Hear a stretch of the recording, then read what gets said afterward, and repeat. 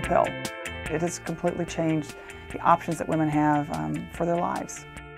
Planned Parenthood really led the fight, both on the medical research that it took, getting the government to approve the birth control pill, and then, of course, making sure that it was legal for all women in America.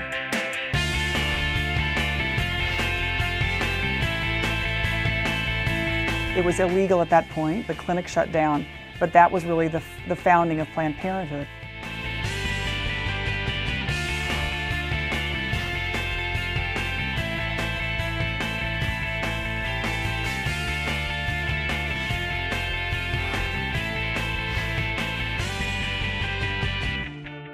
I was willing to try anything that would give me life opportunities.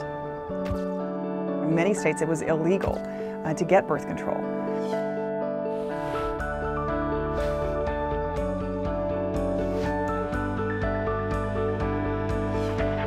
We'll arguments in number 17, Eisenstadt against Baird.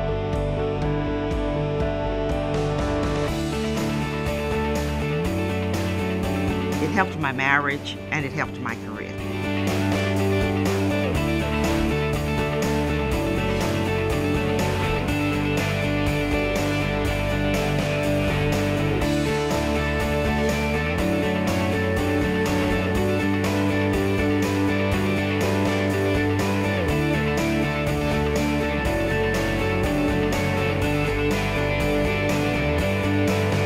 Fully half of the pregnancies in the United States are unplanned, and so there are a lot of women that still need access to affordable birth control.